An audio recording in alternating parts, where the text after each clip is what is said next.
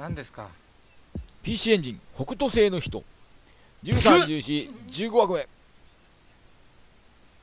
2個目さん3個目さん。こんばんはカメラ10番国さん黒金さんいらっしゃい。ハロルドさんはコツはい6個目さんいらっしゃい。どうも15番線の列車は17時17分発の寝台特急北西3号札幌行きです和コツ愛で心熱くはいなる、8個目さんいらっしゃい愛で心熱くなる。トゥルルンルン。おじさんがありがとうです。ツ北斗の剣と見間違える作品がある9と聞いらってしゃいさあこの亀井でかでさあ僕は行かせてもらいますよ。ああね、えー先週、えー女の人がね倒れてたんですね。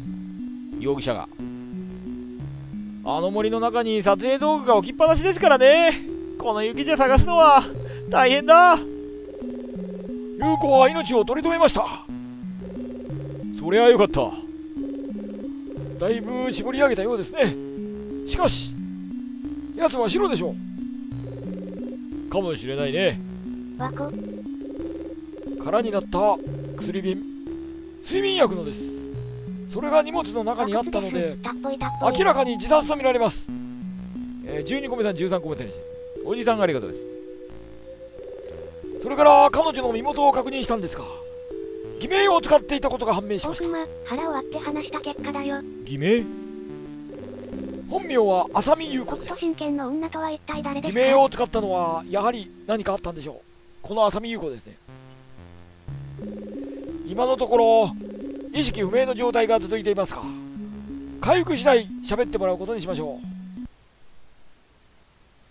風里式さんありがとうござい翌日病院で回復した立花早いね。優子は札幌警察へ連行された。彼女には高崎裕二殺害の容疑がかかっている。ますはい容疑者なんだね。優子さん。大熊刑事と私は取り調べ室で彼女の来るのを待った。優子は今のところ事件については知らないの一点張りです。倉掃除さんいらっしゃい。そあうんな状態から翌日もう回復したんですか？優子が来ました。あ回復力早かったね。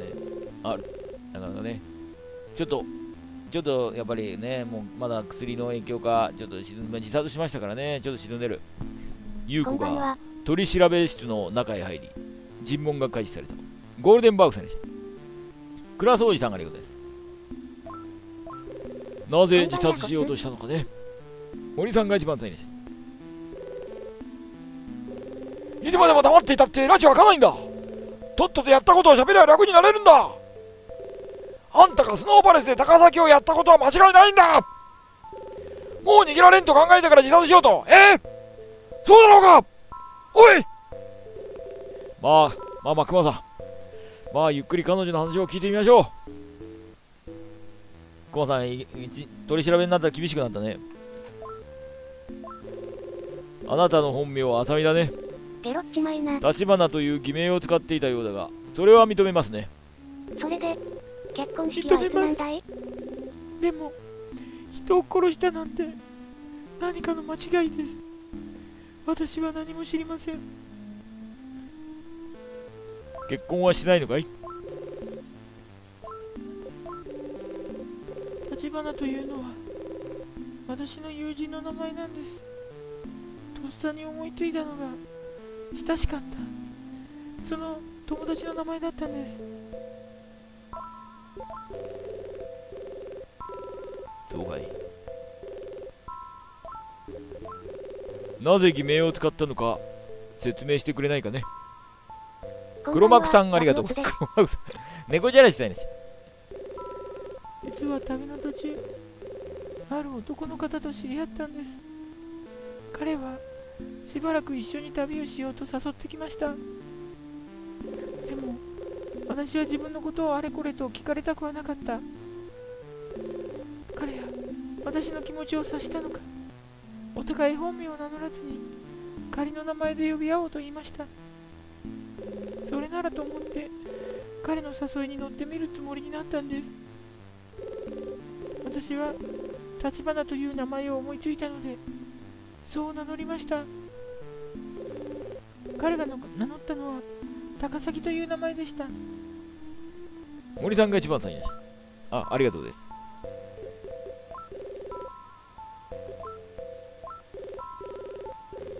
正規の首相1日午後9時頃アパートで殺害される。恨みによる犯行か？高崎裕二。3日午後11時頃スノーパレスの503号室にて殺害される。現場にボタンが落ちていた。小高井晴美住所は502号室の件夜11時頃女の声を聞いたと証言。バーソーさんはいらっしゃいあなただったんです長田ね。誠一。504号室の客カメラを壊されたことで動機ある。あ永田さんだっけ？永田誠一。夜11時頃物音を聞いたと証言。フロントの証言。6時頃高崎という男から立花優子への電話があった。立花優子住所杉並赤いコートロングヘアスノーパレスで高崎と待ち合わせていた模様矢島博大津3号の車内で優子と会った。優子は追われていると言っていた。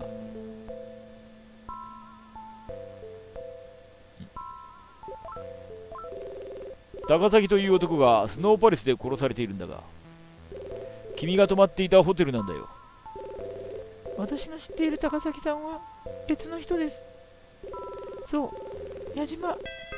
矢島というのがその人の本名です。あの矢島か泊まり客の。ロイヤルデューティーさんがいることです。それおかしいな。矢島さんと君は札幌からビフォロへ行く列車で初めて会ったんじゃないのかね。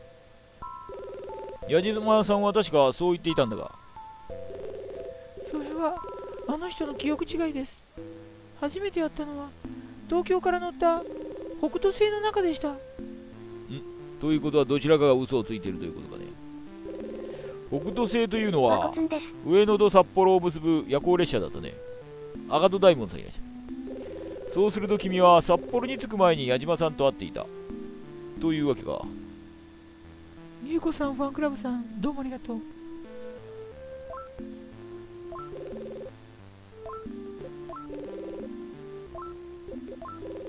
矢島さんと君は札幌に着く前に知り合った。そして君はスノーパレスに行った。矢島さんはどうしたのかね私は確かにそのホテルへ列車って行きました。一度乗ってみたい。そこには矢島さんも来るはずでした。でも彼は用事があったので札幌で先に用事を済ませてからホテルへ来るという約束でした。あ私は何回か乗ったことある。4回ぐらい乗ったことある。結構乗ってるね。ほとんど寝て寝てないねほとんど。でも彼は用事が長引いて約束を果たせなくなりホテルにいる私に電話で知らせてきました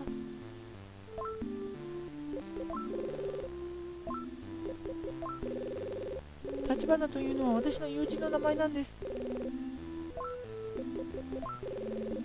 ん見せる。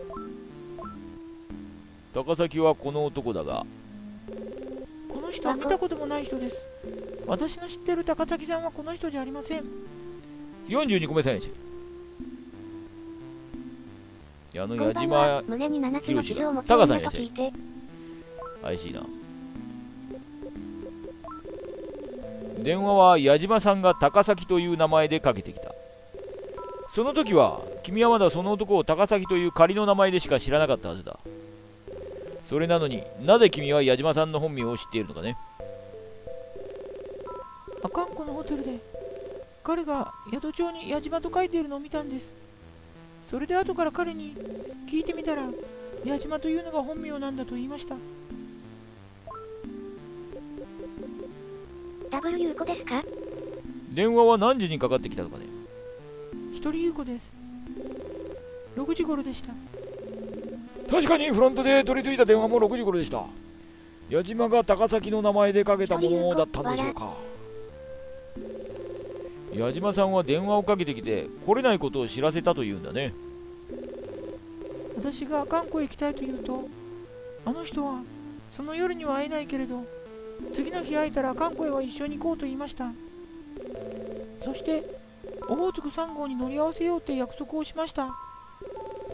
約束通り次の日その列車に乗ってみたら矢島さんに会うことができたんです。話が込み入ってきましたね。電話について整理してみましょう。矢島は高崎という名前を使ってホテルに電話をかけ立花優子につないでもらうように頼んだ。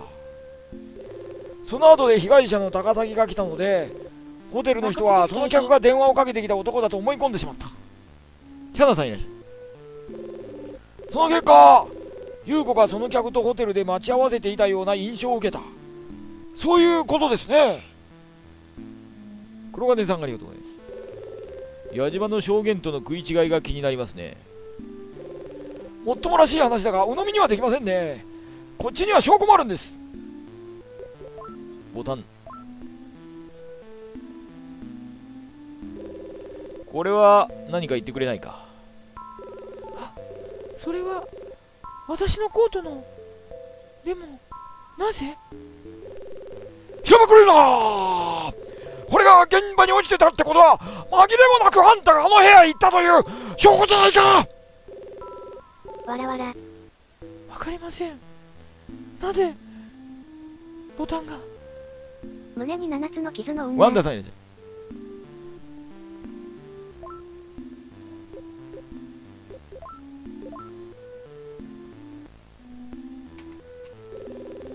あ、これ和骨同じことだ。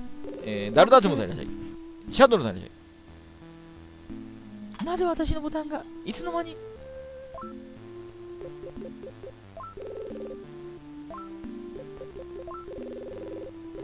私が電話で話したのは彼女はいつ脱ぐんです？確かに矢島せん矢島さんでした私はやっぱり腹を割って話さないとダメだな。はい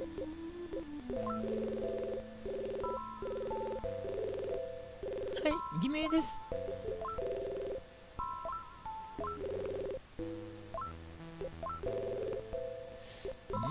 調べるか。藤村 D の影がちらつく。彼女の所持品です。腹割るって切腹のことですよね。ハンドバッグには免許証、それから薬瓶が入ってました。それから旅行用のバッグの中の荷物の中に鍵が紛れ込んでいました。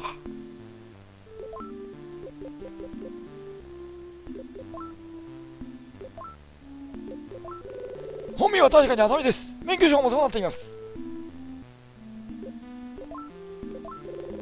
部屋の鍵ですかね腹を割って話そう。昔の人は切腹だからね。まあ、そういう勢いで話そうということはね。睡眠薬です。すでに空になっていました。腹を割るってチェストバスターですか？テストマスターですね。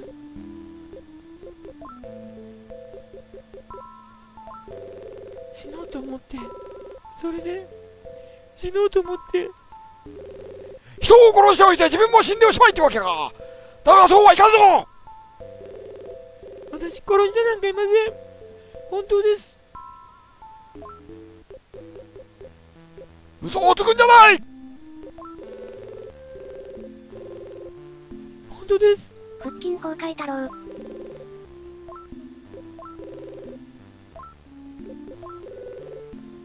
黙秘権か！お前には黙秘権はないぞ！立花という友人は本当にいるのかね？嘘を言ってもダメだよすぐに調べやつくんだ。もちろん本当にいます。会社の同僚でした。名前はゆかり立花ゆかりと言います。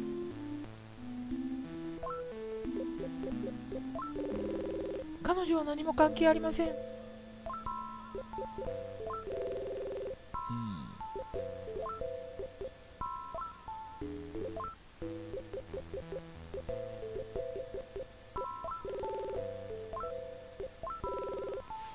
いやー友人にき裏を取った方がいいのかな？彼女は何も関係ありません。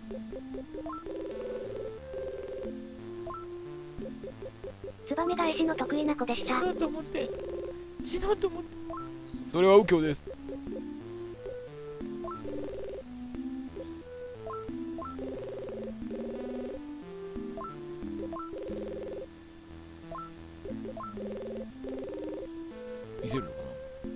が出てきそんな鍵私知りません。たしかし君のバッグに入ってたんだ。知らないはずはないだろう。本当に知らないんです。そういえば関野の部屋の鍵が。関野の写真。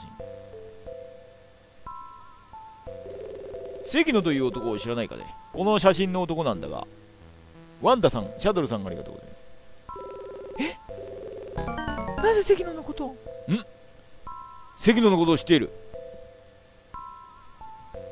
関野のこと聞いて関野知ってるようだねでは関野が殺されたことも知っているんだろえ関野が殺された知りませんそんなこと私知りません関野が死んだなんてアリバイ。1日にはまだ東京にいたね。夜9時頃には何をしていたのか話してくれないかな。東京のホテルにいました。出てなかった？先月いっぱいで住んでいた部屋を出なければいけなかったんです。ジェニファーじゃないです。だから行くところがなくて関野は私を捨てて逃げたんです。でも死んだだなんて私には何のことか分かりません。あ男に捨てられたんでしょうね。私は優子です。男に捨てられたんだ。関野に捨てられてね自殺しに来たと。お移動。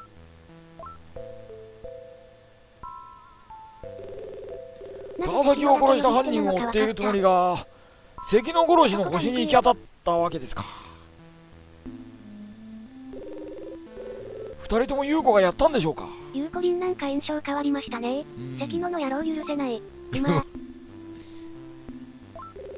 あの鍵が関野の部屋のものならば当然優子が関野をやったことを明らかにする証拠ですよ。問題はホテルへの電話は誰がかけたのかわからないということです。殺された高崎に確かめるわけにもいきませんから矢島がかけたのだとでっち上げることもできますね。ブアリスソードでやったんですか？それは麻生優子です。いや驚きました。あれ恨みを持ってますよ。関野をやる動機は十分ですが。もう一度あの男の話を聞いてみる必要がありますね。しかし阿寒湖にはもういないようです。東京に帰ったんでしょう。うさんくさいやつでしたが彼のおかげで優子を発見できたんです。その点は感謝してますが。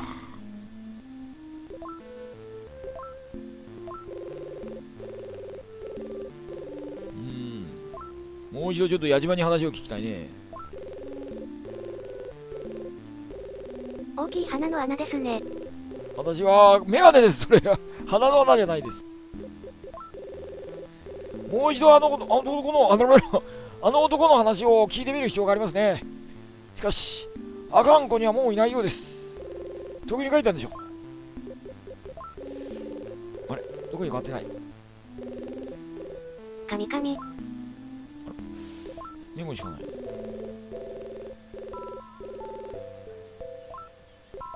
あの男に連絡だ。サブちゃんもびっくり。うーん。これ以上の取り調べは今日は無理だと思いますが私は東京へ帰り優子の動機の裏付けを取ってみようと思います。それと鍵を預かります。関野の部屋のものか調べてみましょう。優子の顔写真ができたそうです持って行かれた方がいいでしょう。お渡ししておきます。ああどうも。76個目大臣。警視庁捜査一課です。西本デカがいます。あ亀さんどうでした？北海道は。容疑者が見つかったそうですね。僕もこっちで調べてみたんですがなかなか手がかりが見つからなくて。亀井こいつ怪しくないですか？風貌が。私は刑事です。凶器は見つかりました。アパート近くの公園にナイフが見せてあったんです。あ凶器見つかった。鑑定の結果犯行に使われたものだということでした。高崎と関野がただの友人同士だったとは思いませんね。どうも引っかかるです。優子が住んでいたマンションを当たってみたんですが優子は部屋を売ったそうで今は他人の名義になっています。マンションの管理人も優子が移転先を告げてなかったと言ってましたからやっぱり優子は自殺するつもりで北海道へ旅立ったんでしょうか。優子が持っていたという鍵ですね。関野の部屋のものかどうか調べてきますよ。よっ左移動胃が増えた高円寺から。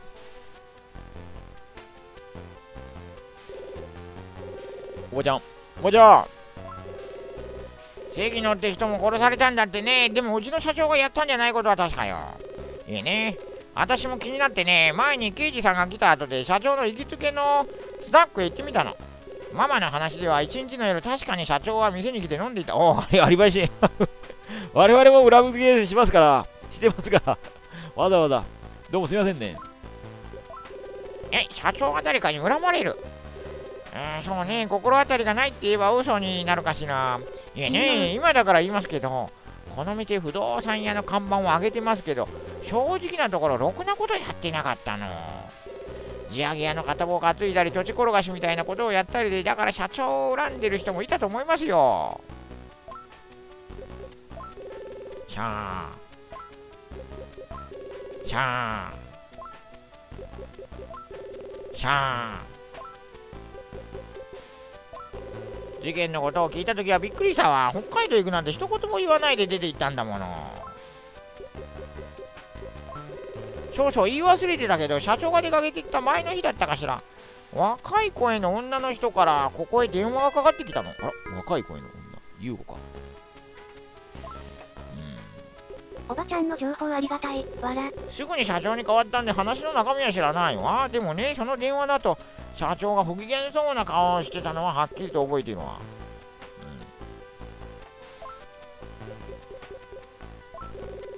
うん、さあ詳しいことは。さあ、うん、社長が死んでしまったのでこの店もおしまいね。ここの片付けが終わったら私も仕事を探さないと。ハローワークに行かないと。しゃあ。しゃさあさあさあさあお詳しいことはさあ詳しいことはでも今コロナで仕事ないらしいから大変もう。大変よしゃ、いえしゃ。いやどうもありがとうございました卓球の掛け声ですね。杉並それさあはい私が立花。え？警察？私に何か？あこれ優子にの友達。え？優子に殺人の容疑がまさかそんな？南と清県の男が出てきました。そんな人は知りませかんえ？関の優子の恋人だったんじゃないの？友達には紹介してなかったのかな？ルドさんいないじゃん。そんな人は知りません。そうなの。いえ存じません。存じません。優子は会社の同僚でしたがでもどうして？座り方がセクシー。座り方がセクシーだね。警察に。存じません。私、彼女とはあまり親しくなくって、え？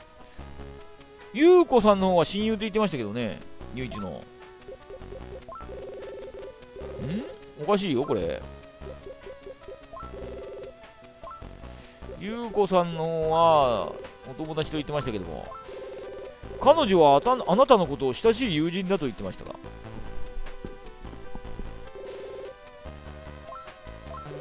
どうでしょう？親友って言われた人が知らないっておかしいなこっちが辛い。辛いなこれですよ、ゆうこさん。美人ですね、なんか。ゆうこですね。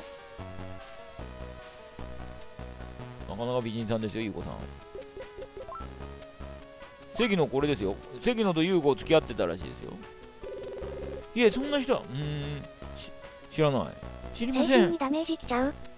仲間由紀恵が演じそう。うん、そうだね、ゆうこさんはね。え、存じません。まあ、いいか。なんか、あまり親しくなかったのかな？調べるじゃん。綺麗な足です。じゃあ、えー、じゃあ池袋行ってみます。宮島か、ここは。辺りには誰もいません。ん帰ってないっていうことかな。ピンポンそう。ピンポン。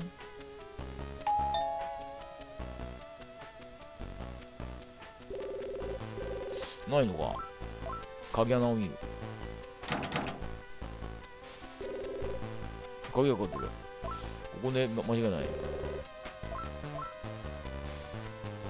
特に変わったところ胴はないようだあげろーらー。ん。おいろ。特に変わったところはないようだなじゃあじゃあしょうがない今次は青山？NHK です。あああのはるみさんね。ホテルでホテルの隣の人ね。知りませんわその方は。事件に関係ある人ですの？お気の毒なことでしたわ。今朝帰ったところですの。でもなぜ私のところへ？当てないと不審するぞ。グローブデザインでどうも NHK です。NHK じゃない。私からはお話しできることあまりないと思うんですがあまりないということは少しはあるということですねあの夜私が聞いたのはその女性の声だったのかしら？姿を見たわけではないのではっきりとは言えませんが。その人があのホテルに？見た覚えないですが。え？永田さんが犯人を発見したんですか？じゃあ警察に協力したわけじゃありませんか。見かけにはよらないものですのね。あの事件さえなければもっといい旅になったと思いますわ。私まで尋問されたなんてその点では警察を恨みますわ。ヘタレゲーマーさんがいることです。あの時話したことぐらいで他には別に。もっといい旅になったと思いますわ。もう。しかも東京に帰ってからこうしてまた刑事さん来るんですもの。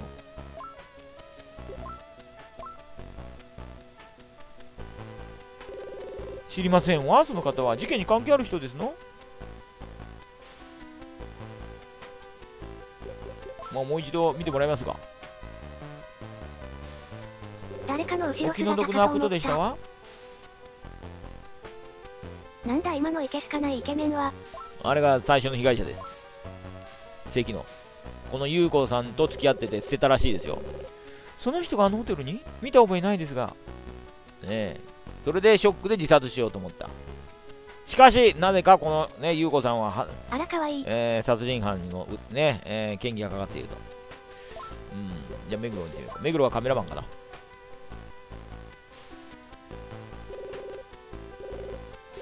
あ刑事さんやっぱり彼女は自殺しようとしていたほら僕が言った通りだったじゃあ僕の潔白なことは分かってもらえたんですねこいつ怪しいですね。知らないことは何度聞かれても。彼女はスノーパレスで人を殺したが逃げられないと諦めて自殺を図ったんですか。いやまだそうとは言ってないよ。知らないことは何度聞かれても。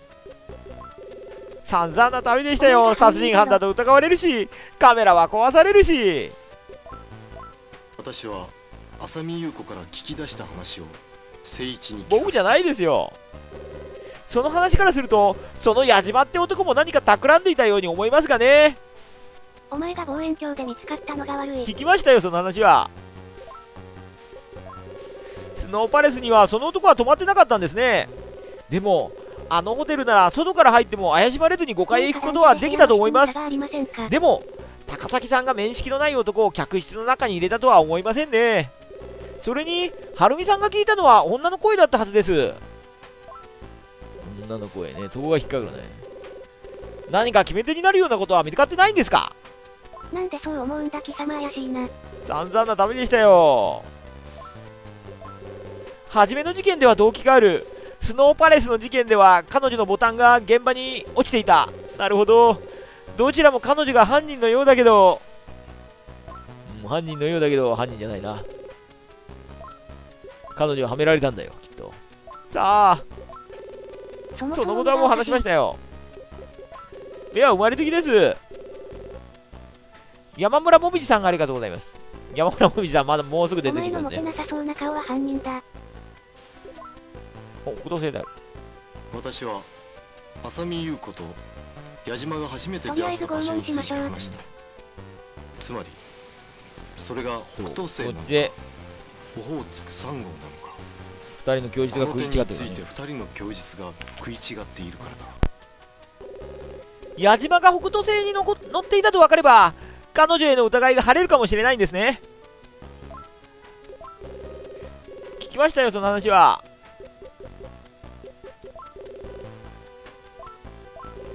知らないことは何度聞かれても。よしここれで全部一回りしたかな。ん実を言うとね僕も札幌までその日の北東線に乗ってたんです。え？彼女を見たことがあるような気がしたのはそれでかもしれません。しかし様、男が一緒にいたかは記憶がはっきりしないんで。思い出せ。男がいたか矢島がいたか。思い出すんだ。思い出せ。それが大事なんだよ。カメラマンだろ。カメラ撮ってないのか車内の車内でカメラ撮ってないそれがあればわかるぞうん思い出せばいいんだけどなんかにガムテ貼りましょう。捜査員が戻ろう剣で聞いてみましょう。ま だまだまだ。まだ。誰もいない。まだまだじゃあ。まだまだじゃあ。お、そういえば、あれ帰ってきてくるかな。どこだっけ？目黒、池袋だっけ？和骨、世界の操作。?113 個目さらに。お、帰ってきてる？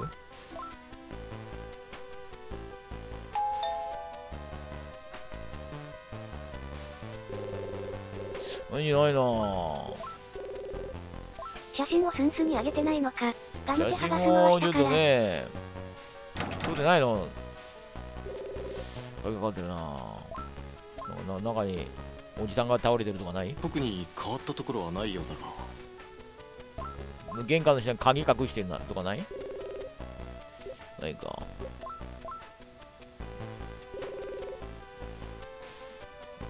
電気メーターないかなうん、まだなんかあるのかじゃあ、こう研修で鍵を壊そう。ただし跳ね返りに注意。まだまだ。捜査令状ないからね。おばちゃんなんか、知ってる？さあ、詳しいことは。まあ、ハローワーク頑張ってね、おばちゃん。おばちゃんからはもう聞き出せないような気がするな。和骨です。NHK と言って入来なさい。NHK です。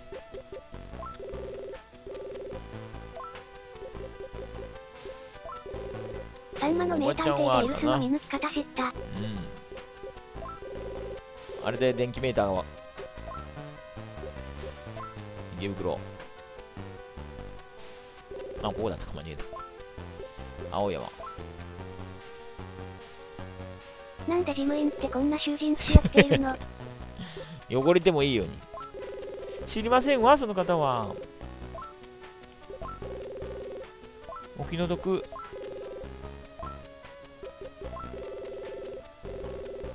うん、姿を見たわけじゃないので、はっきりとは言いませんが、知りませんわ。あの人悪い人じゃないですよ。私もあの人が犯人だとは考えたこともありませんわ。あ、このセリフは初めてだね。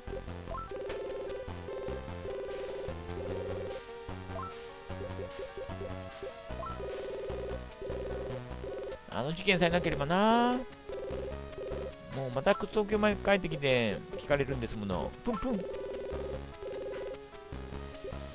あとはもういいかな。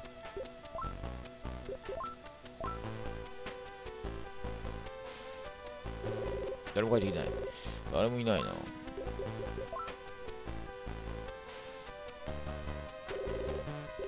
お思い出したかね、小田誠一。聞きましたよ、その話は。NHK の受信料を引き落としにしている俺には資格はなかった。思い出したか？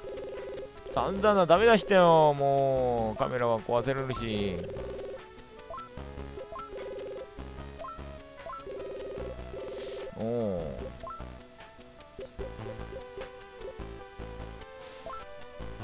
そろそろ帰ってきてるか。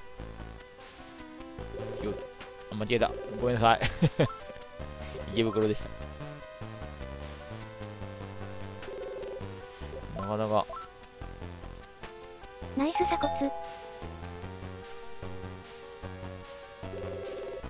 もう返事ないのか。もう帰ってきたいな。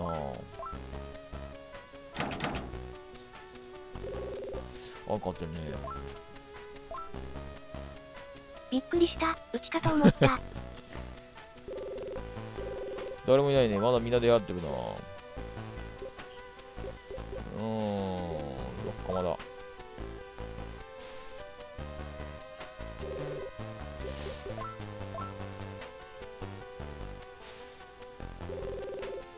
あ、そうだ。親友の人いてないやつよ。あの人もう一回聞いてみるか。あ、高円寺だっけ？あ、じゃあ、ここ。ここもう一回聞いてこう。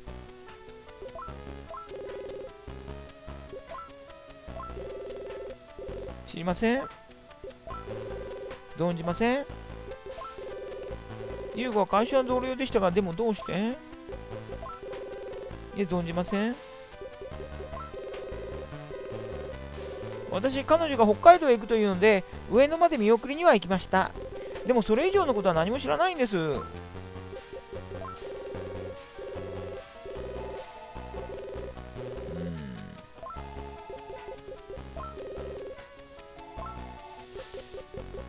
でも友達、友達じゃないのかね。友達でもないのに見送りに行くかな。北海道に何しに行ったんだ、ハケ。ゆうこですね。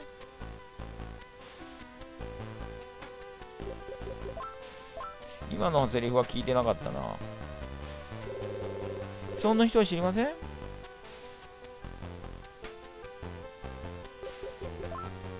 犯人はあいつだ。新幹線で先に函館について先回りしたんだ。いえ、存じません？ゆかりの体を調べましょう。調べたいが、ジンギスカン食べに行きました。戻ってみるか。お帰ってきてる。高崎と関野がただの友人同士だったとは思いませんね。どうも引っかかるんです。鍵はどうだ？青森ハイツの管理人に確かめてもらったんですが、やっぱりあの鍵は関野の部屋のものに間違いないということでした。やっぱり、これで優子の疑いがますます深まったな。こいつ森本レオか。そうです俺は。酒森本レオです。優子がやったという線が強くなってきましたね実はあの辺りで聞き込みをした時二月前から見慣れない女がアパートの周辺をうろついていたという話を聞いていたんですよ。ところで優子はメガネをかけてました。えかけてない？いえねそれがメガネをかけた女だということでしたから。ームですよね。仮面刑事これ若いですね非常にね。まだ。とにかく優子が関野をやった動機の裏付けを取るのが先先決ですね。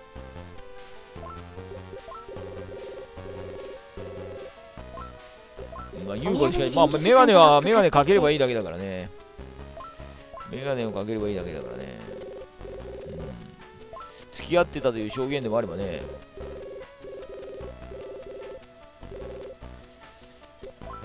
どうするか。やっぱ友達にもう一回聞いてみよう。北海道のお土産はまだまだ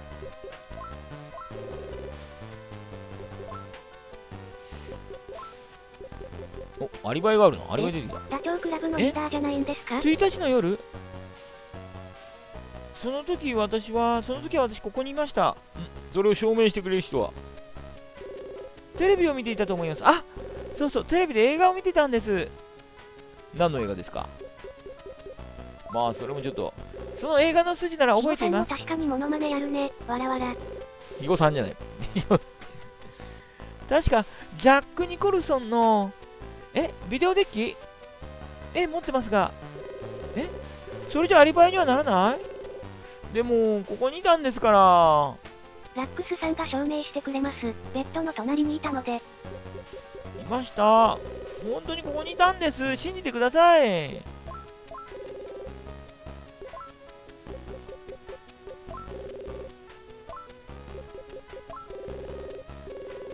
上野まで見送りには来ました。それ以上は何こと何も知りません。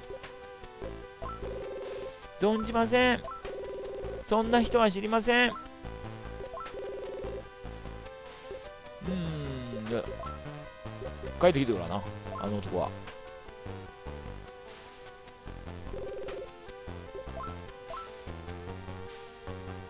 アリバイ証明を他人しかないっていうのも考えたらひどいな。まあいないね。しょうがないね。まあ今ならそこらかしこにねあのカメラがあるからね。どんどんどん。監視カメラがね。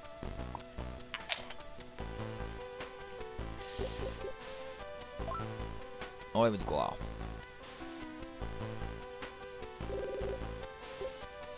れもアリバイ聞けるの？元気でこれ聞けない他には別に17日の午後9時はどこにいましたか？17日の午後9時。私は常に10時からはねアリバイがありますよ。ってこと10時前で、後は。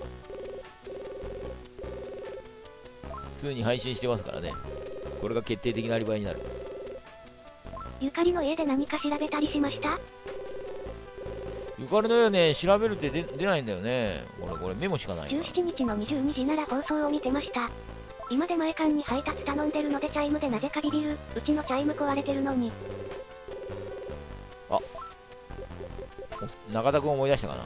どんどんどん、警察だ。チャイムがここは警察じゃないよ。ゆかり？エビゼン。何か思い出した？思い出したか？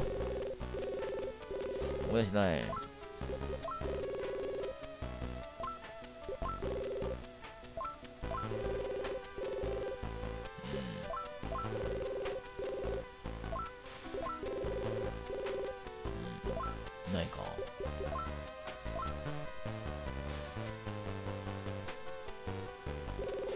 誰もいなくなってる。うん、おばちゃんはもういらないな。一応。おばちゃんのところはもういないしかないね。あー。うん、おばちゃんは就とりあえず職活動中。一発殴れば話してくれますよ。ラックスさんには毎日9時40分から1時間半アリバイがありますよねう。ん。時間はあるからね。ポートピアじゃないから。よし。ポートビア殴れ、殴れたんだけど、最後安を。いや、生放送と見せかけて動画かも。実は。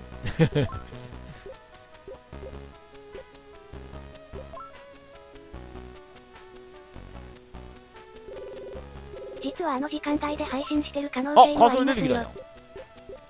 さっきまでメモしかなかったのに。どうかしましたか？ちょっと調べますよ。部屋、部屋の中調べさせてください。最新ソフトやってないし、わら。疑惑のラックス、わら。ポートピアは男性の被疑者叩ける。次元装置のトリック仕掛けてる可能性も。女性週刊誌です。もしかして正当校かも。はないようだ本当がだ。それは本物ですか？特に変わったところはないようだがよし。生投稿かもしれない。特に変わったところはないようだが録画かもしれないね。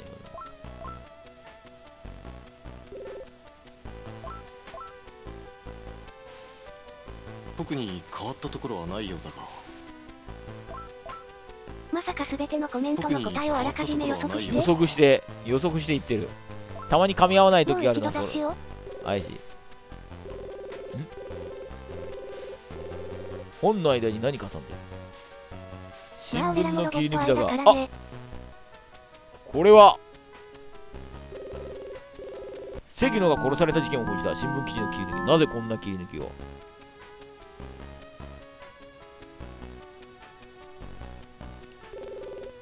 怪しい。あなたは関野を知らないと言ってましたね。置いたコツ、なんでこんなものを。しかしこの記事の切り抜きを持っていた。何かこの記事が気になったからです違いますか？許してください。話すべきじゃないと思って黙ってたんです。私が話したら優子が犯人にされてしまうと思って悪いのは関野です。関野が優子にしたことは殺されても当然のことです。何をしたんですか優子さんは。体ひどい男でした。優子に借金を押し付けて自分だけ逃げたんですから。なんだって？なんだって何をしたんだいえ。ひどい男でした。あんな奴は男のクズです。優子は男が憎くて憎くて。どうにません。優子が関野と知り合ったのは2年ほど前でした。初めの頃は私も羨ましいほど似合いのカップルでした。でも、あの二人が付き合いを深めていくうちにとてもひどいことになっていったんです。優子が関野とおいそのお借金もある。小林麻也か。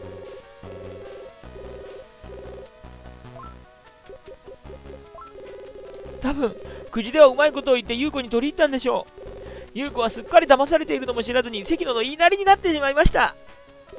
関野は事業を起こすんだとか自信たっぷりに話し優子もつい承知して関野が借りる何千万もの借金の保証人になってしまったんです。挙句に関野は賭博か何かでお金を使い果たしどこがよそに恋人まで作って優子から逃げてしまったんです。ひどい野郎じゃないか。まあそりゃ殺されて当然ですな。口でするのがうまかったのか。なるほど。関野が行方をくらましたので保証人になっていた優子のもとへ借金の取り立ての人たちが何人も押しかけてきました。その人たちは会社にまで押しかけてきて私や他の人を捕まえて優子のことを聞き出そうとしていました。そのために優子は会社には居づらくなって辞めてしまいました。そして優子は住んでいたマンションを売って借金の返済に充てなければなりませんでした。そうだったのか。多分相当な金額だったと思います。取り立てですね。取り立てが厳しいからね。優子はご両親を交通事故で失ったんです。その遺産で買ったマンションでした。それも取り上げられたのかということは。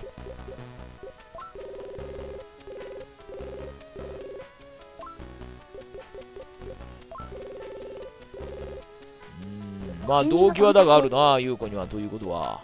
なんて辛い人生なんだ。辛いな最近の優子は見ていてもかわいそうなほど気が塞いでいました。自す。殺でもしかねないくらいでした。ただね私もそんな殺されて当然の人間の人間を殺した犯人を捕まえなければいけないんですね。残念ながら。いくら殺されて当然でもいや殺されて当然の人間なんていないんです。人が人を裁いちゃいけないんですよだから私は犯人を捕まえてなんとか。戦場では564まくっているのに。なんで？私は思うんですけど関野は初めから優子を騙し利用するつもりで優子に近づいたんじゃないかしら。まあその通りでしでもょうね警察はそういうはの捕まえてはくれないんだよな。私は捕まえます。約束しましょう。私は絶対にラックス金融は紙光線に乗せられるんですよね。犯人を捕まえて、爪をすべて剥ぎ取るんですね。裁判官は人間じゃないんですね。あとは裁判が日本は裁判で法あなたが裁いちゃダメなんです法で裁くんですよ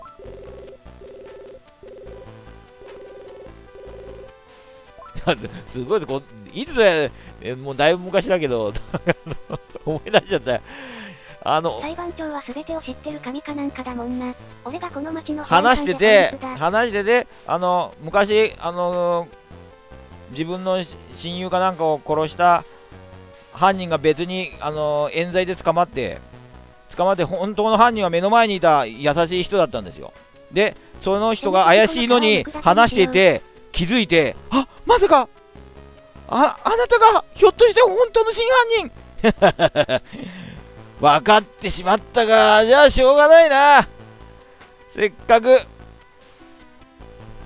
仲良かったのにねしょうがねえなっててこう包丁持って刺そうとしたんだけどちょっとやめて助けて違うああやめてあなたがあーああごたごたごたごたごたブスってこれでこれであの返り討ちにしたんですよ。あの真犯人の方をね。でそのあのーまあ偽装工作がとかしたんだけど最後バレて仕方がなかったんです。わらわら。それでもあの主演の高橋さんだったか高橋秀樹さんだけどな。んかもう仕方ない。正当防衛じゃないですか。まだもう再現 VTR だったらせ正当防衛なんですよ。包丁でもうやられてもうしょうしょうがなくこうよよ避けたら向こうが勝手にバランス崩して逆にズボって刺したぐらいだったで。それでも人が人を裁いちゃいけないんです。殺しちゃいけないんですよ。大正解おいよそれちょっとそれちょっとおかしいじゃないか。しょうがないやん今のそれで理不尽に怒られてるからその女の人。男対女でしかも。あなたがしたことは犯罪なんですよ。それでも絶対に殺しちゃいけないんです。じゃあどう？同同性中に。同性中じゃわらわら。あれはちょっと理不尽でしたね。あれは理不尽すぎたねちょっとね。自分からまあ能動的ねあの自分から殺まあ進んで殺したんだったらまあね悪いやつを。あれだけどあれ完全に正当防衛だったのに。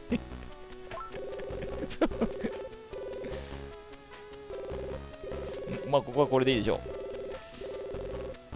あれはひどかったなぁ。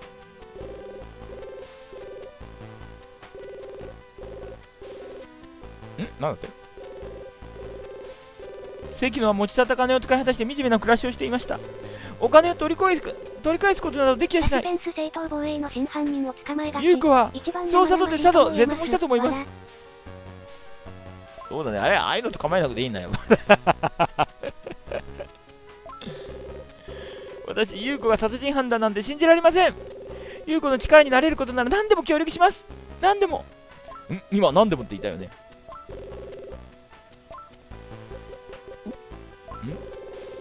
多分相当な金額だったと思います。何でもします。優子はご両親を交通事故で失ったんです。何度もクリアしたゲームだから口を挟みそうになるわ。よし。本当にここにいたんです。信じてください。アドベンチャーゲーム何度もクリアするって珍しいね。まあでも当時はねあまりおお金がなかった頃に1本買ったんだったらそれをしゃぶり尽くすまでやるっていうのは分かるような気はしないでもないですよね。愛好家がいらっしゃる。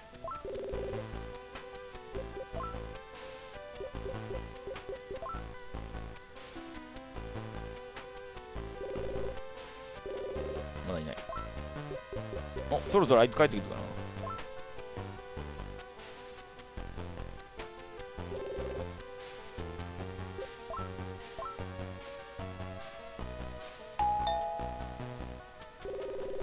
はい、矢島ですが。ああ、刑事さんですね。どうぞ。お、ようやくいたね。愛好愛好家はい、こう。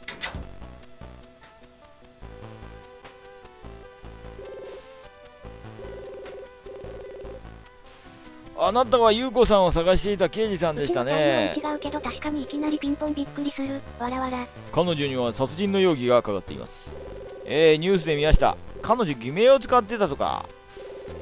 それで僕に何か？知りませんねその人は。あの殺された人のことですか？さあよくは知りませんが。知りませんねその人は。初めて彼女に会ったのは。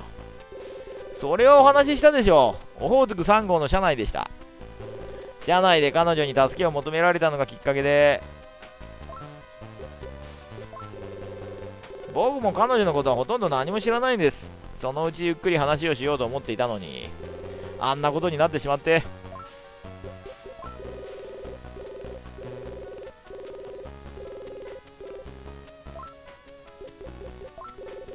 なぜ北海道へ行っていたんですか？観光旅行ですよ。骨休みのつもりで。ところがあの変な事件に巻き込まれてしまったんです。オホーツクに消える。僕を疑っているんですか？骨にしてやろうか。いやいや関係者全員に聞いてますから。オホーツク3号に乗る前は札幌にいたんですね。札幌では何をしていたんですか？普通の観光客がすることと同じですよ。散歩をしたり食事をしたり。ね。おなよろでんだしたよまったくあなたも偽名を使いましたね。ことでなぜ僕が偽名を使ったりするんです？刑事さんと会った時にも本名言ったはずですがね。お忘れですか？いや優子さんにですよ。僕を疑っているんですか？普通の観光客がやること？ああすすきのですよ船津くんですね。どうかしたんですか？ビデオテープが並んで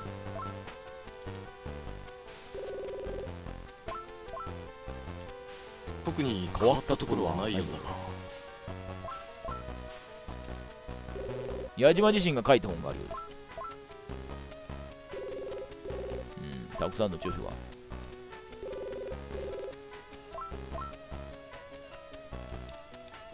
特に変わったところはないようだが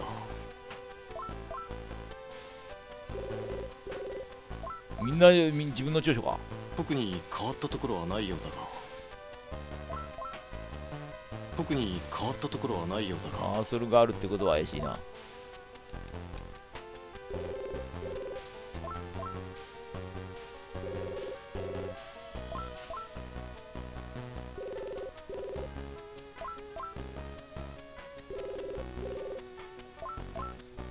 うんこの奥は？特に変わったところはないようだがビデオテープ俺は何のビデオテープかね外国の方がパネルになってる。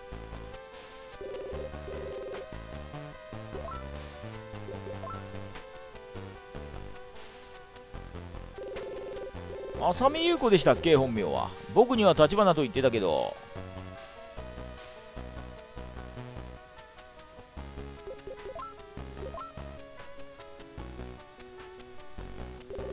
ああこの人でしょ？スノーパレスで殺されたのは。無修正の金髪のビデオテープです無ね。修無修正の無修正のテープこんなとこに置きませんよ。知らない人ですね。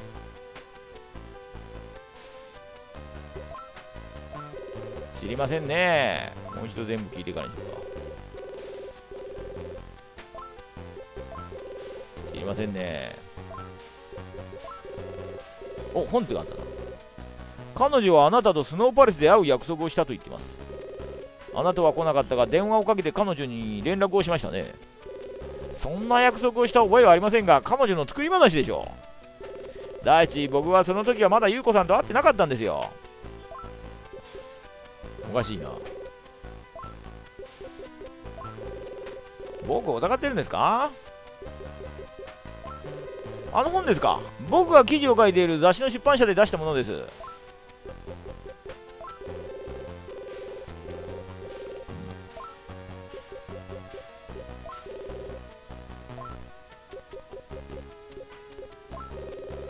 僕を疑ってるんですか？なんとなく彼女の考えが分かりましたよ。彼女は僕を犯人に仕立て上げようと考えてるんですね。いえね。あかんこで刑事さんにはお話ししたと思いますが初めて会った時彼女は追われていると言ってたんです。で彼女に聞いてみるとどうやら北海道へ来てから彼女はある男に付きまとわれて困っていたというんですね。どういう理由かは知りませんがとにかくその男から逃れるためにオホーツク3号に乗ったということでした。そこで僕に目をつけたわけです。いいですか？その男と僕と置き換えて警察に話をすれば高崎との関係を隠すことができますよねそれどころか僕が高崎という偽名を使ったとかホテルに電話をかけたとかそんなことを言えば。まるで僕が彼女を罠にはめたように聞こえるじゃないですか真犯人が僕であると警察が思うとでも考えているんですかねまったく浅はかな刑事さんいい加減な話に惑わされないようにお願いしますよ。まったく。僕が偽名を使ったという証拠があるとでも言うんですか？まったく。証拠なんてどこにも残してませんよ僕は。拷問だ。事件の夜つまり3日の9時頃何をしていましたか？えアリバイですか？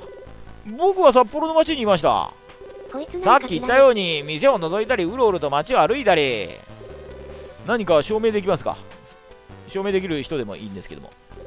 いやできませんね。いちいちアリバイを作りながら一人旅なんてできませんよ。で僕はその人を殺したとしても何の得になると言うんですか？高崎さんと僕との関係を証明する何かあるんですか？僕はそんな証明証拠を残するようなヘマしませんよ全く。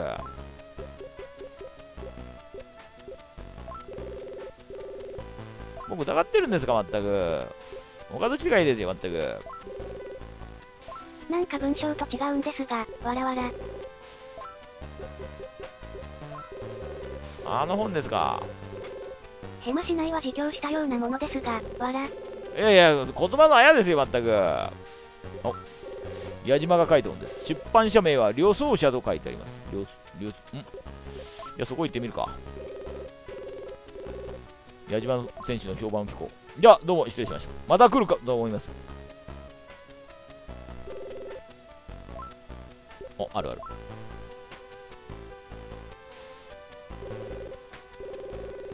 矢島さんのことでそれなら担当の者をお呼びします。お待たせしました。平山玲子と申します。矢島さんが何か。矢島さんがあったという人ですね。北海道でのお話は矢島さんから聞いています。殺人を犯して逃げている女性と知り合ったとか。いやまだ決まったわけじゃないですけどね3サイズを教えてく3ださいサイズですか86、58、86です私は旅行雑誌の編集をしているんですけど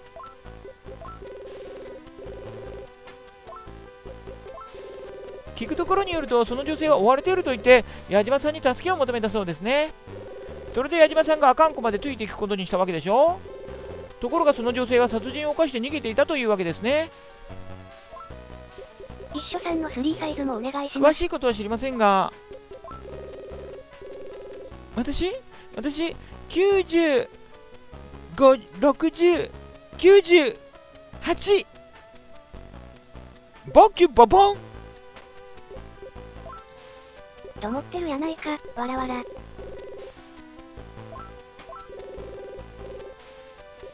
すごい。でかい。存じません？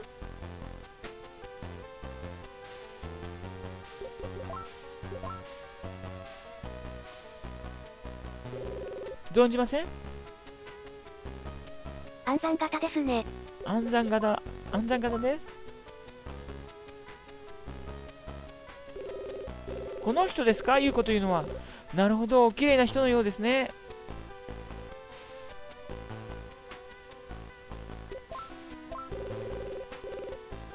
あとはまあ特に。待ってくださいよ。矢島さんのことをなんでそんなに？もしかしてあの人を疑ってるんですか？え？容疑者の供述を食い違い？そりゃ刑事さん容疑者は助かりたい。一心で嘘をつきますから。あの人は物を頼まれると断れない性格なんです。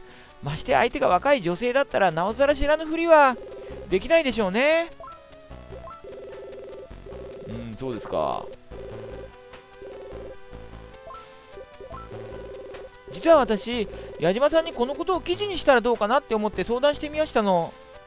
でも矢島さんに断られました。彼にしてみれば見ず知らずの女性の言いなりになってホテルにまで一緒に行ってしまったことは自分としては恥ずかしいことだと言うんです。でもこれは私の勘なんですが彼にも好きな人がいるだろうしあんなことをその人に知られたくないというのが本音だろうと思うんです。うん彼女がいるんですか？詳しいことは知りませんがうーん。結構話が聞けたねよしまあいいでしょうどうもありがとうございました。和骨北斗百裂系の女。Z37 だよね。この車内で矢島と一緒の写真があればいいんだけどね。なんか出た？写真撮ってないのカメラマンまだ現像してない。あでもカメラ壊されたとか言ってたねそういえばねカメラ壊されたらダメか。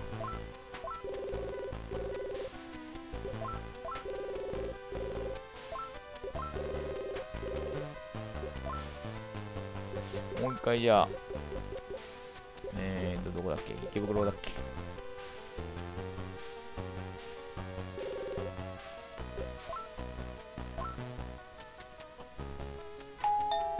ピンポーン。どうぞ。失礼しますよ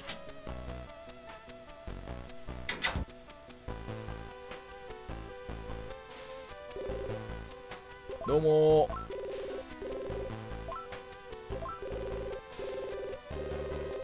何か気づいたことありますか？彼女は素敵でしたよ。一緒にいて楽しかった。短い時間でしたけどね。僕には自殺する素振りなんか見せなかったし話も話してもくれなかった。だからまさかこんなことになるとは思いもしませんでした。彼女が殺人を犯したなんて僕も信じたくはありませんよ。しかし根も葉もない話で容疑を僕に向けておいて罪を逃れようとしているならば話は違います。僕としても身に覚えのない罪を認めるわけにはいきませんからね。僕は断固して女性って怖いもんですねまったく。可愛い顔して僕に罪をなすりつけようとするなんて。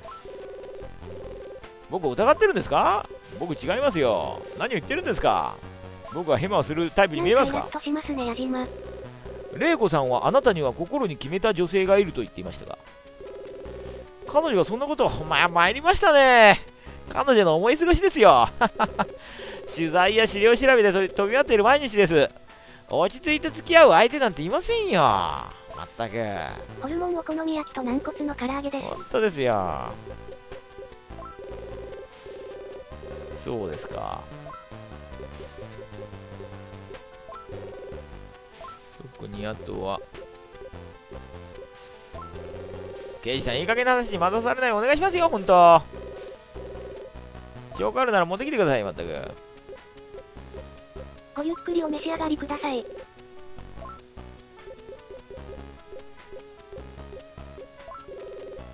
いやどうも失礼しました。特にカーソルはあなんかビデオがなんか気になるな。特にないか。いやどうも失礼します。亀さんは今日の晩ご飯何食べましたか？亀さんはえー、おなんか亀さん今日何だった？あハンバーグだありがとう。やはりあれは関野の部屋の鍵だったようだが優子は関野殺しに関しては黒かもしれない。なしかし同型の調べではその後物的証拠は見つかってい。ない。らしい。ところで亀さん何か分かったかい。報告します優子は関野に対して十分な動機がありますしかし高崎の事件に関しては動機は見つかりませんもしも関野と高崎の関係が明らかになれば何かわかるかもしれませんが矢島という男はどうだったんだ？動機が見当たりません。矢島が嘘をついているとしてもそれを見極める決め手がないんです。このままでは物的証拠がないので同型でも有効を起訴できるかどうかは難しいところだ。交留期限が切れて有効を釈放しても自殺されてはことだしな。そこで向こうにも話したんだが関野の事件に関して調べるということで有効を東京へ連れ戻してみてはどうかな。亀さんは優子に会って矢島に関する手がかりを聞き出してくれんかね。わかりました。北海道に向かいます。あ北海道も自分が向かうんですか？向こうから連れてきてくれるわけじゃないですね。私がいや飛行機で行きます。飛行機早いですから。ああどうも。ああ亀井刑事どうもご苦労様です。私が東京行きたかったんですけどね 結局有効の動機が確認されたにもかかわらず交流期限が切れてしまいます。しかしなぜ彼女があの鍵を持っていたんでしょう？こいつ怪しいですね。私はデカです。もしも矢島が犯人なら列車の中で隙を見て優子のバッグの中に忍ばせることができたかもしれませんが。吉原に行きたかったですけどね。行きたかったんですけどね。高崎が殺された夜矢島がどこにいたかを調べたんです確かに札幌の町の旅館に矢島は宿を取っていたようです。うん。その宿にずっといたかどうかは分かんないのかね。結局そうですね。旅館の人の話だと矢島は宿を取った後外へ出かけ夜遅くまで帰らなかったそうです。ん。夜出かけてるじゃない。しかし札幌から現場まではそう遠くないですから。犯行後旅館へ戻ることも可能です。そうだね。あ優子が来たようです。ではあとはよろしく。優子さん我々はあなたをこれ以上拘束することはできません。あなたを犯人と確定できる証拠は見つかっていません。しかしあなたが犯人でないという証拠も見つかってないんです。そこであなたにお願いがあります。え？これから私とあなたでもう一度あなたの足取りをたどってみたいんです。あなた自身であなたの供述が嘘でないという証拠を見つけ出してほしいんです。それでは札幌駅から行きましょうか。あなたは北斗星で札幌に着いた。あなたの供述からすれば矢島も一緒だったようですが。ここに着いてから私はしばらく街を見て回りました。それから矢島さんと約束した通りスノーパレスへ行くことにしましたさっきの熊刑事はアイヌらしい。アイヌです。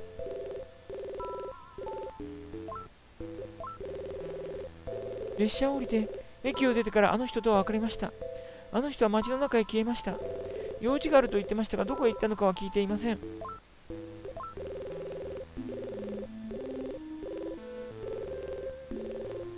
はい。優子、そして無限界で戦士になあそこへってました。行ったのは。矢島さんとの約束があったからで他に理由はありません。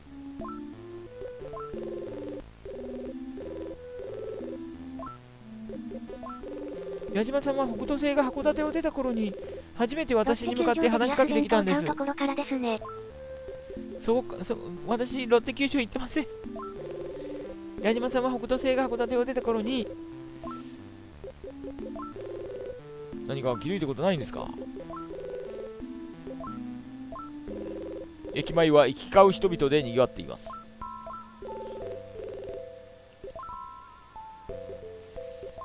じゃあスノーパレスに行きますか。次はスノーパレスに着いたんですね。このホテルであなたがしたことを思い出してください。愛好弁当は買ってないんですか？愛好弁当買ってません。私が高崎という名前で知っていることは矢島さんがその名前を使っていたということだけです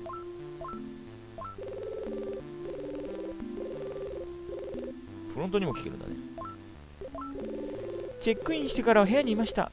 6時頃矢島さんから電話がありしばらく話をしました。その後もずっと部屋にいました。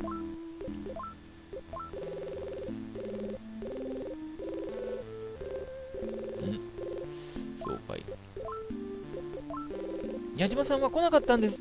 それを知らされて少し残念な気がしました。チェックイン。チェックイン、チェ。ックインです。チェックイン。ちょっとでかかったね。電話がかかってきたのは6時頃です。彼は用事が長引いてここへ来られないと言ったんです。本当なんです。電話かかってきたんです。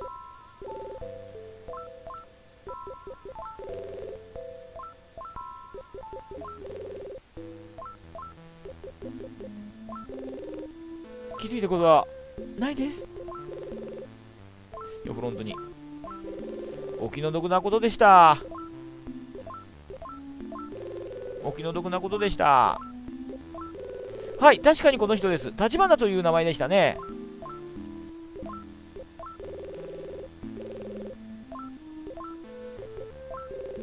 そういう名前のお客さんは記録に残っていませんが、まあ、矢島泊まったわけじゃないからね。札幌の宿に泊まってたらしいからね。えー、確かにこの方への電話取りてきました。高崎かん、えー高崎さんからで6時過ぎにかかってきたんです。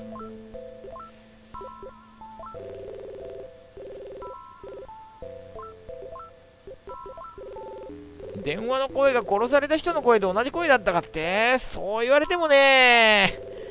覚えてませんね。残念ですが。まあそれは普通は覚えということはやはり偽名。特に、まあね、特徴がある声ならね、いいけどね、そんなに聞いたわけでもないですよね。503号室なら空いたままです。あれ以来、お客さんも気味が悪いと言って、あの部屋を避けるんです。何か調べるのでしたらどうぞ。あ、503号室行けるんだね。じゃあフロントが犯人だ。ワコックス、どうも。東京牛乳されて。いや、私は電話取り抜いただけですから、私はアリバイがありますピンよ。クの電話の人だったらすぐわかる。外から誰かがホテルの中へ入ることはできないことはないですね。いちいち顔覚えてるわけじゃないですからね。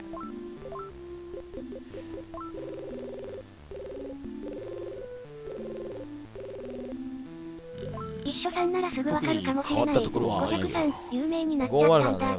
なんで男のボイスに、わらわら。あ、今フロントの、フロントですよ。フロント、フロント。話す。ここで起きたことを考えてください。高崎という男が殺された。そしてここからあなたの服のボタンが発見された。矢島さんが列車の中で通ったのかもしれないじゃないですか矢島さんが列車の中で通ったのかもしれないじゃないですかボタン引きちぎるったら相当あり、でも気気づかないですか？コートですもの気づかないです眠ってた時かもしホれないでやることなんて。そんなに怒らなくても、コここで何を思い出せと言うんです。私はこの部屋へは来ていません。来ていません。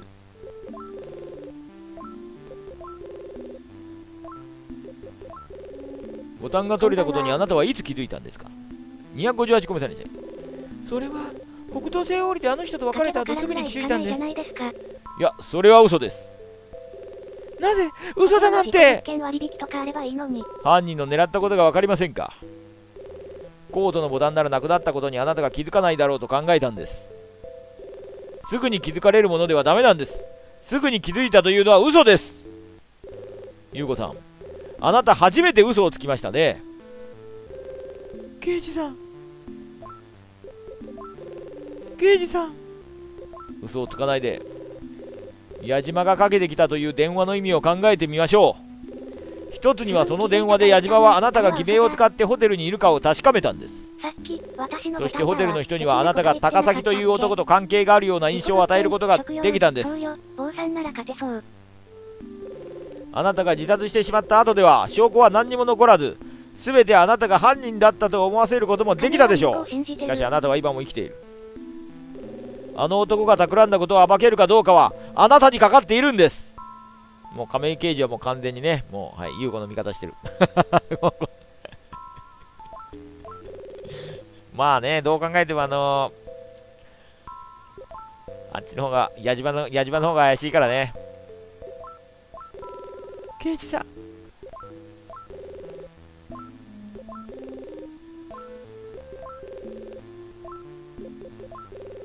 刑事さん。矢島が怪しすぎるんだよな。矢島が怪しいからな。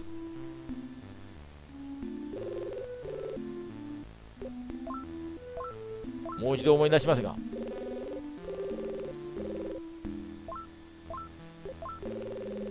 チェックインしてからは部屋にいました。もう一度何か。2時間サスペンスなら怪しいってなったあたりで56されるけどまあね。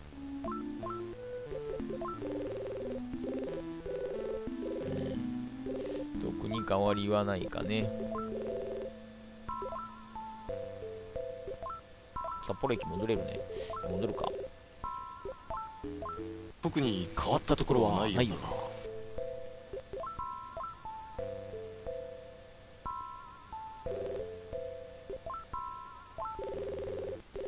スノーパレスを立った後あなたはまたこの駅へ来ましたね矢島さんはオホーツク3号に乗るようにと言ってましただからスノーパレスを立ってからここへ来て切符を買ったんです。あの人は私に罪を着せようとして私をスノーパレスに行かせたんです。その証拠が必要なんです。何か思い出せませんか？証拠がないとダメなんですよ。暴けないんです。考えたらこの手のゲームで無駄選択しまくって時間切れで爪見ってあんまりないですね。そうですね。殺意の階層とかああいうあたりですかね。1個ぐらいですかね。ああとまあブルーシカゴブルースね。ブルーシカゴブルースはありましたね。時間切れがね。あそこへ行ったのは矢島さんとの約束があったからで他に理由はありません。ホームズポイント上がるよ。矢島があなたと一緒に北斗星に乗っていたという証拠になることを何か思い出せないですか？何か思い出せないですか？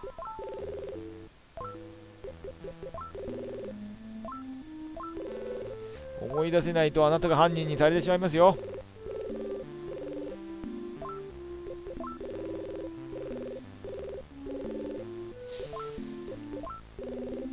修学旅行の生徒たちが駅前に集まっています。あそうだわ。修学旅行生。お北斗星にも修学旅行の生徒が乗っていました。北斗星に修学旅行の生徒が乗っていたんです。おそれならその北斗星の中で矢島さんと話していた時そばを生徒が何人か通り過ぎましたその時生徒の一人のポケットからボールペンが落ちて私の足元へ転がってきました。私はそれを拾ってあげたんです。ビビるね今ね。そうあの生徒なら私たちのことを覚えているかもしれないわ。どこの生徒か分かりますか？まあまあ調べれば分かるか。修学旅行の。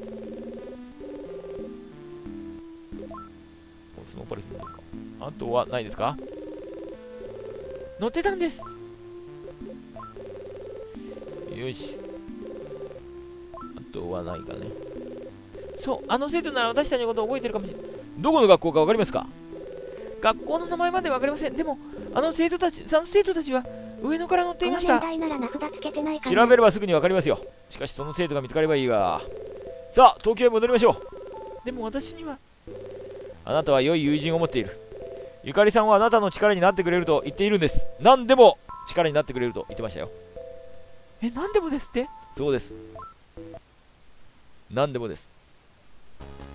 浅見優子と一緒に東京へ引き返した私は彼女を立花ゆかりのもとへ預けた後鉄道に問い合わせたらきつかった学校わかりそう。まあ修学旅行でしたらねわすぐ分かりますね。JR と問い詰めるだけで。問い詰めるというか問い合わせればね。お帰りなさい亀井刑事。どうでした？浅見優香は。いやどうって 北条刑事ホテルに一緒に泊まったわけでもないのに どうってどういうことだよ。何を勘違いしてるんですの？ああなななんで？いやいやいやいい今は友達のところにいるよ。なんとか元気を出してほしいと思ってるんだかああそれはそうと彼女が思い出してくれたことがあってね。私は北斗星に乗っていたそれは別のゆかり。具合合いのことを話した。よかっその話はもう聞きました。コマンドオルド北斗星に乗っていた生徒が見つかれば彼女の話が本当かどうか分かりますね。たまあでも優子さんのこと覚えててもねそばに男がいたかまでどうだろうね。矢島の証言が嘘だとすると彼は浅見優子が自殺しようとしていることに気づいていたからこそ犯行を計画できたということになりますね。そうだね。でもどうやって矢島はそれに気づいたんでしょ最初から知ってないとダメだね。じゃ矢島は関口と関係がないと。関名関名だっけ？関口だっけ？そういえば矢島は本を書いているんですね。私も読んでみたんですけど彼の本は結構売れてるらしいですよ。北斗星に乗っていた生徒が2人のことを思い出したとすれば矢島の証言が嘘であるという決め手になるわけですね。南アメリカの旅行記でしたがなかなか面白い本でしたよ。ご覧になるのでしたらここにありますからどうぞ。私はもう読みましたから。あそ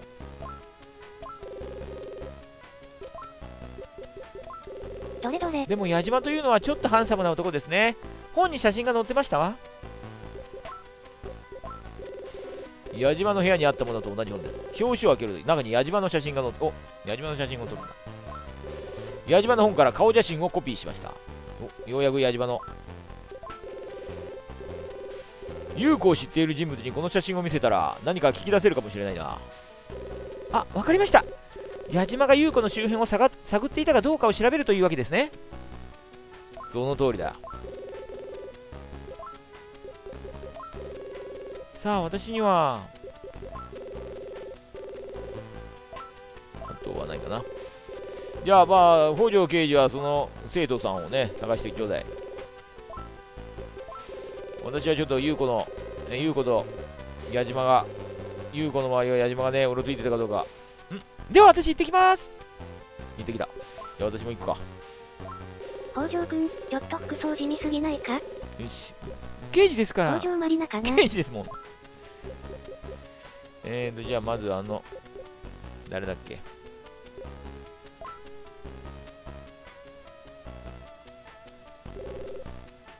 はるみじゃなかった。杉並だっけ？おいあ出た。あ刑事さん私に何か？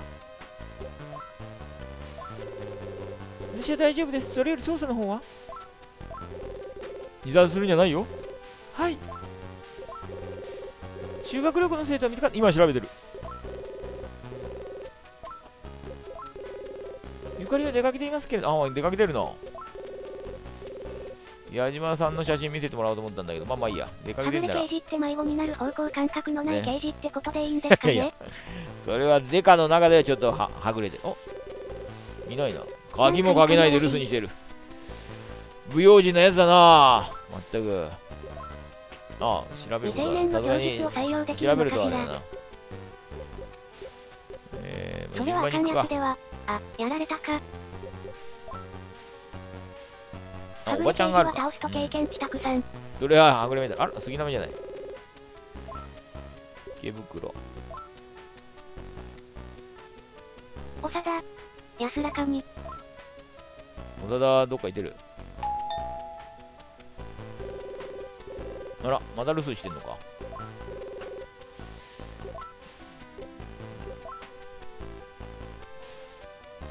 あ。者行ってもあるかな。あら、レイコもいない。平山お探しですか？あいにく外出中ですが、あ、一応聞けるな。聞いてみます。確か取材で宮崎へ行くって聞いてますが、今頃は多分東京駅じゃないですか？宮崎に行くのか。もうすぐ列車に乗る頃ですね。さっき平山に矢島さんから電話があったようです。平山は矢島さんと会うために出か出て行ったようですが、あ、そうですか。じゃあちょっと行ってみるかな。他には別に、もうちょいですかね。もうすぐ列車に乗る頃。いや、ちょっと今、今だったらダメダメだね。うんメモしかない。池袋はだったら杉並池袋、青山。ま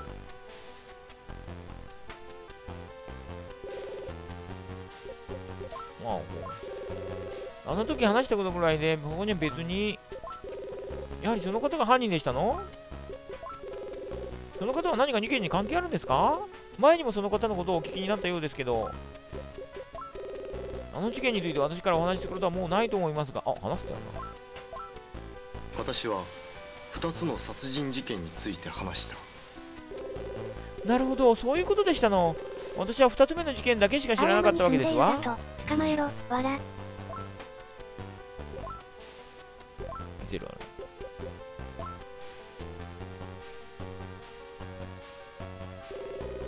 知りませんわ、その方は。事件に関係ある人ですの。結構、ポーズ撮った写真撮ってるじゃない。突然声が入るの。深夜真っ暗の時にやってたらビビりそう。ねえ、びっくりするかもしれない。見た覚えないですが。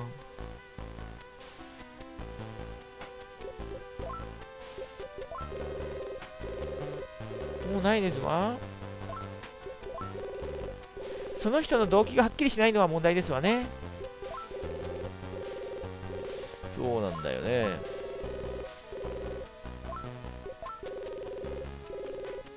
刑事さんは優子さんが犯人だとお考えではないようですけど。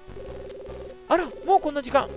すみませんが用事がありますので、お引き取りくださらないかしら。あ、捜査員が戻ります。じゃあここで整理しましょう。嫌だ帰らない。はい、といったところで、今日はここまでですかね。はい。じゃあね、ちょっとまあ怪しい、矢島が怪しいですね。まあ、ゆゆうこさんに濡れ衣をかけていると。矢島の、矢島と関口、高崎のね、関係。調べないといけませんね、来週おはね。はい。ご視聴ありがとうございました。PC エンジン、北東星の人は。毎週土曜日やってます。土曜サスペンス、北東星の人。おでした。おつおつです。また来週。亀井刑事は事件を解決できるのか？はい、おつおつ、おつです。おつです。おおつでした。。おでした。おつ、おおです。つ、おつです。おおつです。おつでした。おつでした事件はまた来週。事件はまた来週。おつおつ。おつです。おです。